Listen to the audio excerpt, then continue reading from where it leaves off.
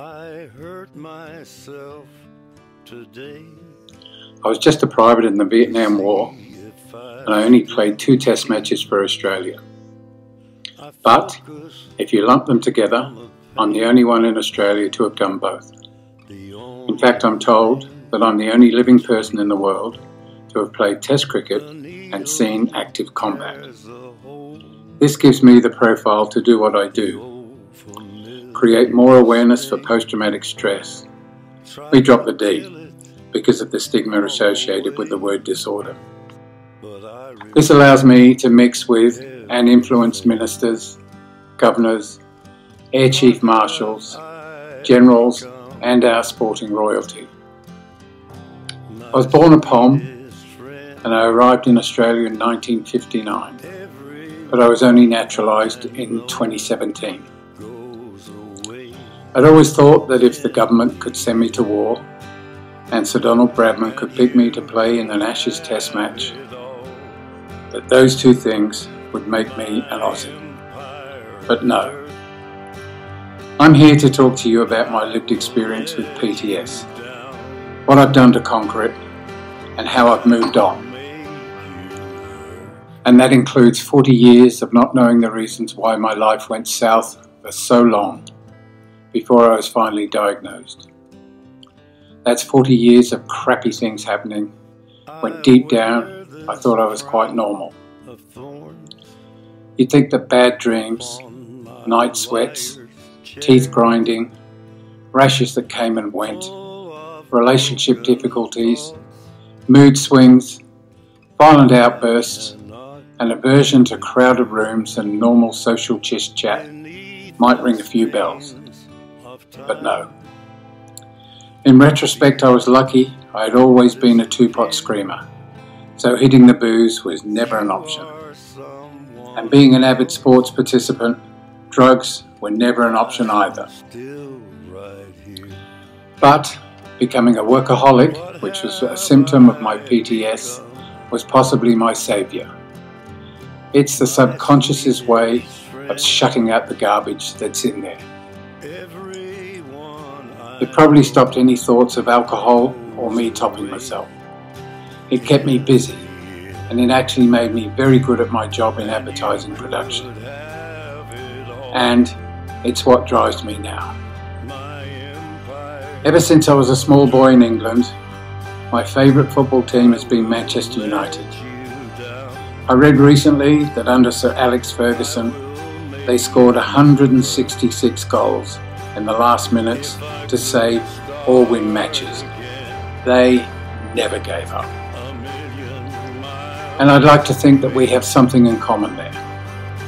We have a job to do and we can't walk away from it, ever. Over 10 years ago, I had a GP, John Parker, who constantly volunteered to work overseas for Médecins Sans Frontières.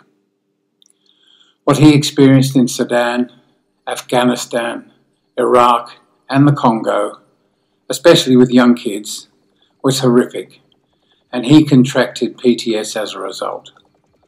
But he kept going back, and he's written a book to help exorcise his demons. He asked me to read the draft and make comments, and although I have major problems with my concentration span, I just couldn't put it down. He's no different from me. When asked if he was too old for this rigorous work, he came up with my favourite lines in the book. We don't stop playing because we get old. We get old because we stop playing. I think that's another reason why I keep doing what I do.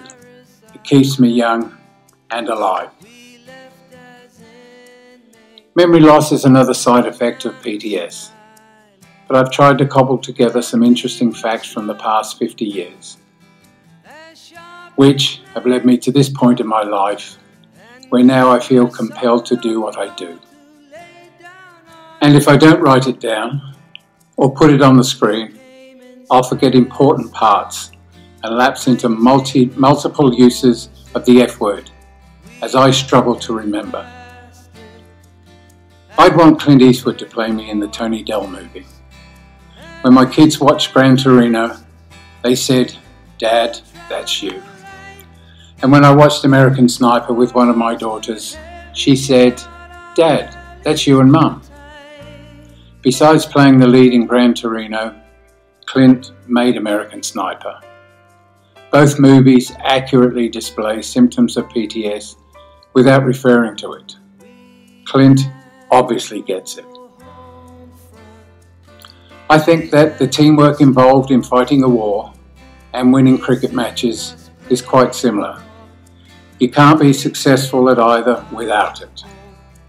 In the Army, we were always taught that the platoon or section is only as strong as its weakest member. That has always resonated with me without thinking where it came from. While I loved playing cricket, I remember I always seemed to have these pangs of guilt at leaving my workmates to cover for me while I was off playing shield cricket. But I never really knew why at the time. But I guess I was the weakest member at my workplace. One day, after being 12th man in a test match in Sydney, and with a tour of New Zealand coming up, I told Sam Loxton, the national selector on duty, that I didn't want to play anymore. I didn't realise that it was a PTS moment at the time. But my next job was to tell my state captain, Greg Chappell, at the end of the season. He wasn't as understanding. We'd just been decimated by Jeff Thomson in the last match of the season against New South Wales. If we'd won that match, we win the Shield for the first time in our history. If you know your cricket history, we Queenslanders still had another 20 years of frustration. Greg's reaction was bullshit. He said, I've just talked Thommo into coming to Queensland and I want you to open the bowling with him. Well, that was an offer I couldn't refuse. Because Thommo was totally fearsome in those days before he damaged his shoulder in an on field collision. They say that Shoaib Brett Lee and Shaun Tait were all measured at 160k plus, as was Jeff after the accident. I can tell you now that I faced him in the middle and saw him bowl often as a teammate. He easily bowled at 170k and he actually hit the sight screen on the full with a short ball at the WACA in Perth. Imagine that. Straight over the keeper's head and bang, into the side screen halfway up. Greg's theory was that if he's on my side in state and national cricket, I never have to face him again. So I played one more year of Shield cricket. The other point of this story is that camaraderie and peer support is an important way back in PTS recovery. I'm sure I got that out of cricket in a small way without even realising it. I played first grade cricket while still at school, back in the days when club cricket was really strong. And just when I thought I was going to play for Queensland, national service came along. Five years later, with a trip to Vietnam in the middle, I finally made it. When I first played that club cricket, the press called me the gentle giant. But not long afterwards, returning from Vietnam, I started to gain a reputation for being aggressive on the field. It seems that no one was safe, including umpires and my own fielders. But back in the dressing room, I was fine. I don't think it was something that I thought about consciously, it just happened. That was probably the first sign that things were not as they had been. But it just happened and I didn't notice that I was any different. The public reaction to the Vietnam War was quite hostile, and we were not exactly welcomed home with open arms. In fact, we were advised not to wear our uniforms in public, as we might get spat on by some exuberant university student. My own family, while happy to see me home again, said nothing. I might as well have just been down to the shop getting a bottle of milk. Maybe talking about it with friendly faces might have made a difference back then. Two weeks later, I was back at my old job, not game to talk about where I'd been. I played five seasons with and against the Chappell brothers, and they had no idea I'd been in Vietnam until much later. They probably thought I'd just been born an aggressive prick. They are now two of my greatest supporters. In 1980, I got fired from my job, even though I was a director. I'd been there since 1965, and I was damn good at it. In fact, my area was the main revenue earner in the agency. I was not given any real reason at the time, and I'd even given up my cricket for them. But I found out the reason later. And here we had the old strength of the platoon thing again. It seems that I was rather hard on people not pulling their weight, so I had to go. It works in the army, but not in business. Meanwhile, away from work, I was getting a reputation for being a social misfit. So, at 35, I decided I couldn't work for a boss again. That's another PTS thing and I went into partnership with another fellow, a well-known rugby player. In eight years, aided by my work ethic and my strong contribution to revenue, we went from a standing start to number four in town, winning state and national awards along the way. Then, one day, with our third partner from Melbourne and the footy player's lawyer, they fired me.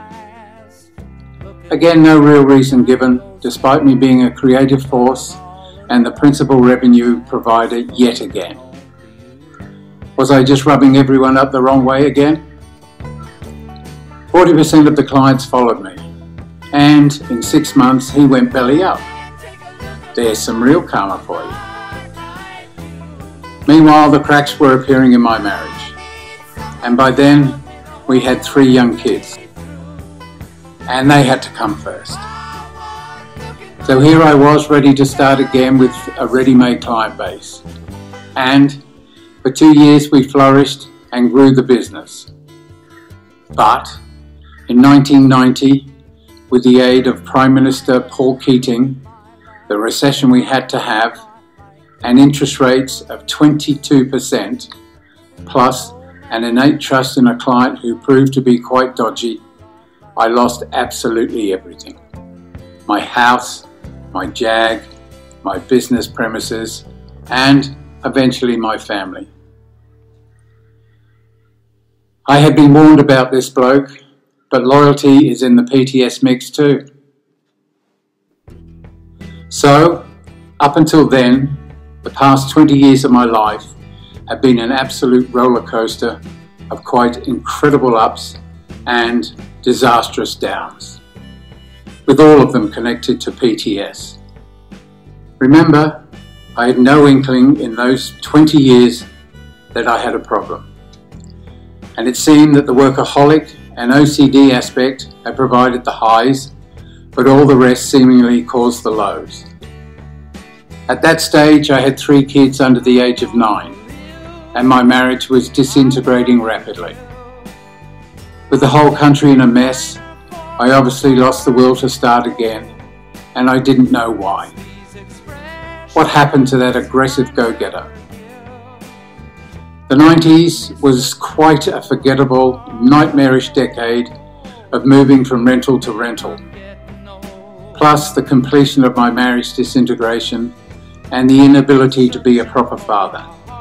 As I said, I didn't have the energy or the will to start yet again in advertising. The details of that 10 years have escaped me almost completely. How I got through it is still a mystery. By early in the new century, my family were gone and I was living in my mum's garage in Caloundra. But cricket, and more accurately services cricket, came along and saved me. I was approached by two retired colonels involved in services cricket. They wanted me to be their guest at the International Defence Cricket Challenge in Canberra in November 2007. I was the only Vietnam veteran to play Test cricket so they thought I was, it was a good idea. They had about 500 international defence cricketers from various Army, Navy and Air Forces playing in the one carnival. Before coming home to Caloundra, they asked me if I still had my medals. The answer was no, so they insisted I should get replacements. They rang to check in December, in January, in February. I finally visited the Vietnam Veteran Drop-In Centre in Maroochydore in March 2008. We talked mainly about cricket. They told me I have PTSD. I said bullshit.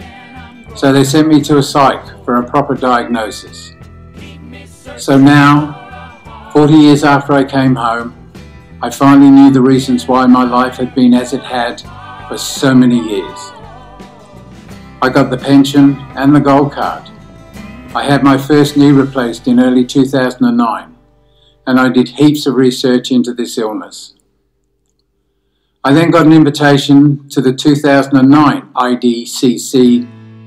Would I do the speech at the awards dinner?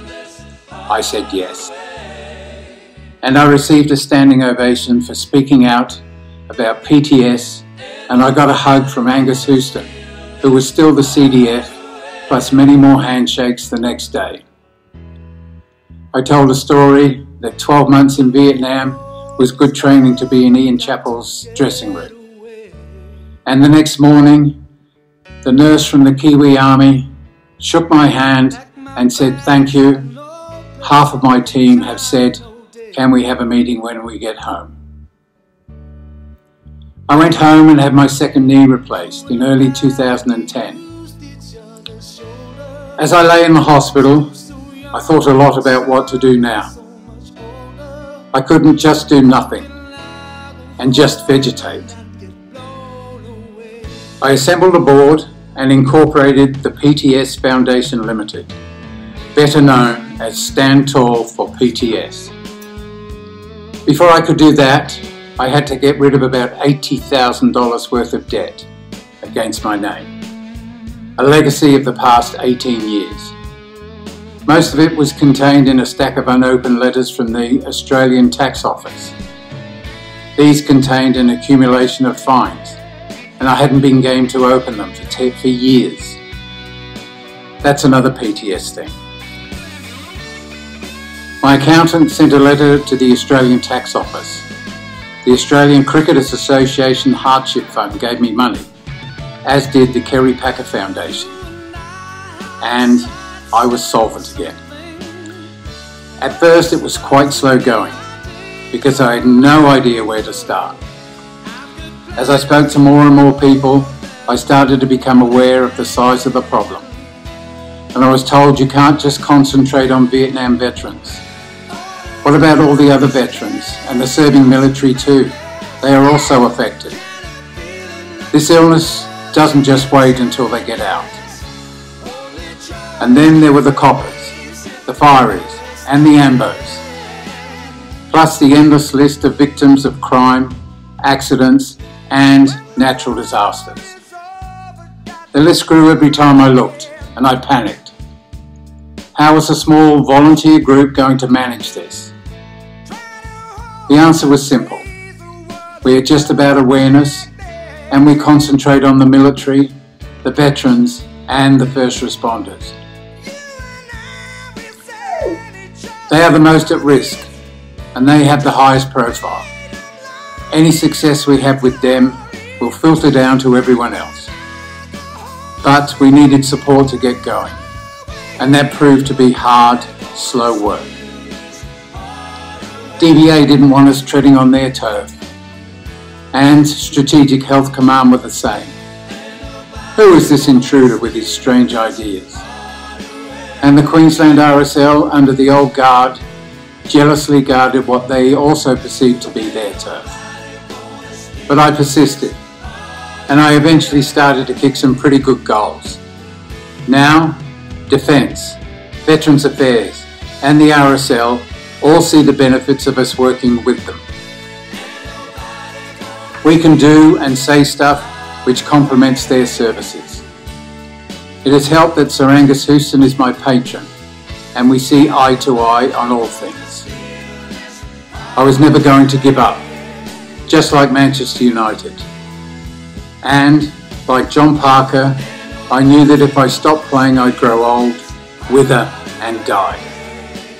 I'm sure that an obsessive compulsive disorder is part of the deal. I just couldn't walk away. This was my therapy, and so I spent a lot of my own pension money just to keep it going in the early days. We started to gain traction when we were attached to Tony Abbott's Prime Minister's cricket match in early 2015. And the catalyst for where we are now was our first international conference in Brisbane, PTSD 15. This was the start of my relationship with clinicians and researchers. David Forbes, Andrew Khoo, and Miriam Dwyer. By then, we had slowly morphed into an entity which, besides awareness, also saw the value of collaborating with other like minds, and we felt we could talk openly with government too. So Angus and I decided that we should combine all of our aims into this conference. It was hard work. It was successful. It was satisfying. It was good therapy. The CDF, Mark Binskin, then told me that I kept my promise to him and he'd back me from now on. So we immediately booked and planned for another conference for 2017. The 2015 forum was almost entirely clinical, but what of the awareness? In June 2016, with the help of Defence and first responders around the country, we took a convoy of vehicles and a massive semi-trailer provided by Linfox, which was painted up as our mobile billboard, on the road. We went from Brisbane to Sydney to Canberra to Melbourne over 11 days. We conducted interviews at all of our stops. We gave talks at the Goulburn Police Academy and the Australian Federal Police Headquarters. We had a civic reception in Canberra, and I laid a wreath at the War Memorial. We reckon that with mainstream and social media, we made about 10 million impacts around Australia. We even wrote our own song, which was recorded by the Australian Army Band in Brisbane. That video clip tells the story of 11 days on the road. It was fun. If you stop playing, you get old. In September last year, we staged our second international conference, PTS 17. This was even more successful than 2015 on the awareness and clinical side, and also the collaborative side. Dan Tehan, the DVA minister, played a significant role in the opening, the dinner, and multiple media interviews. And the keynote speakers from the USA, the UK, New Zealand, and Canada were amazing. Defence and the Queensland RSL supported us yet again. So we seem to be satisfying all of our aims which we came up with some years ago. But is it enough? Two years ago, Sally came back into my life from many, many years ago. I've learned to love again, and I'm starting to learn to share once more. While we were in Canberra last year to report on the conference, I took Sally to the War Museum. The Vietnam exhibit had a very confronting audio-visual display of diggers being inserted by Hueys. That's something I did quite a few times. I'd been there, done that, and it didn't outwardly worry me mentally. But suddenly my legs turned to jelly, and I had to hold on to something solid in case I fell over.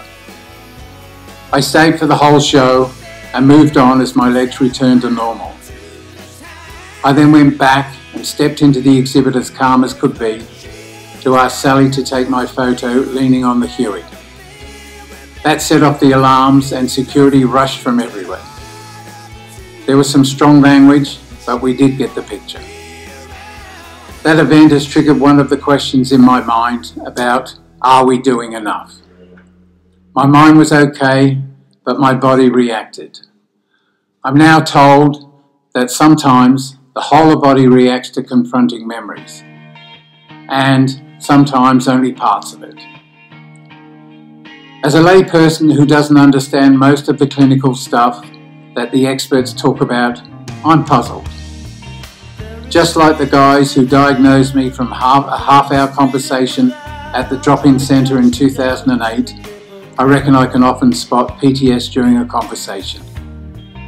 So, as a layperson, I have to ask these questions Have we advanced clinically? what happens to all of that research that is presented at our conferences? Are we actually doing or are we just talking? Are we being too reactive instead of being proactive? Are we saving lives? Are we improving lives? Do the general public actually care? Do the majority of politicians really care? Does categorizing PTS as a mental illness add to the stigma and therefore add to the problem? Or is it just merely a state of mind caused by trauma which should not be lumped in with a mental illness? Just when I thought I was getting somewhere. Three years ago, we made a series of 30 second TV commercials at no cost to us and distributed them to the TV stations in Australia. They're still running, and I get frequent calls or emails from around Australia indicating that they are making a difference. We might not be at the coalface, but I'm confident that we are making things a bit easier for those who are. As our logo says, with awareness comes knowledge, and with knowledge comes action. So, we keep going. The battle is not over by a long shot. There's lots more to do for everybody. There are many organisations in the PTS space and we all have our niche. If we all work together, we will eventually prevail. So we keep on keeping on, just like Manchester United, and we keep playing just like John Parker. In October, we're staging another convoy in partnership with the Invictus Games this time. We will drive for 20 days. We'll educate. We'll provide job creation for veterans. Talk to politicians. It can be a roadshow for DVA. And with a bit of luck, we'll have Prince Harry with us at the end. We've just recorded a new song for this convoy and we'll make a movie of it too. At all of our awareness events, we encourage people to mix and talk. We tell them they're not alone. For a long, long time, I've been alone. I've been by myself and done it tough. And when Sally came back into my life just recently, she made all the difference to my life. We've worked hard lately and had fun, which has made all the difference to our last couple of events, and we have a massive 2018 planned. I'd like to leave you with my proudest creation to date, the Stand Tall song. It was written by me, but made very commercial last year by a couple of creative geniuses from my advertising past. It didn't cost us a cent. Listen to the words as you watch the vision. It tells a dramatic story, but emphasizes that all is not lost. Thank you. There's a song that says it's a wonderful world. The sights I have seen make your hair curl. So I keep to myself, can't share or confide. Don't wanna seem weak, cause I got my pride. People around me just don't understand. Think life should be simple and go to a plan. But the order of things is often destroyed when the forces of evil or fate are employed. I've seen it all. heading my back to the wall. Seen more wrong than right. Heard screams in the night. I still see my mates fall. And the battleground now. Move on, hell, but how? To rise, not to fall. To walk, not to crawl. Rise above destiny's call. Rise, stand tall.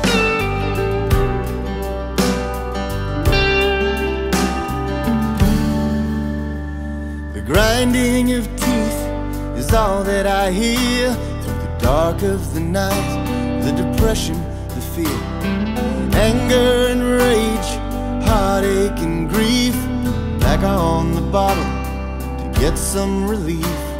The sound of a chopper whirring above when you're frozen in terror. It's hard to show love. The flashbacks that take me back, am I still there? Does anyone know? Does anyone care? I've seen it all. Had my back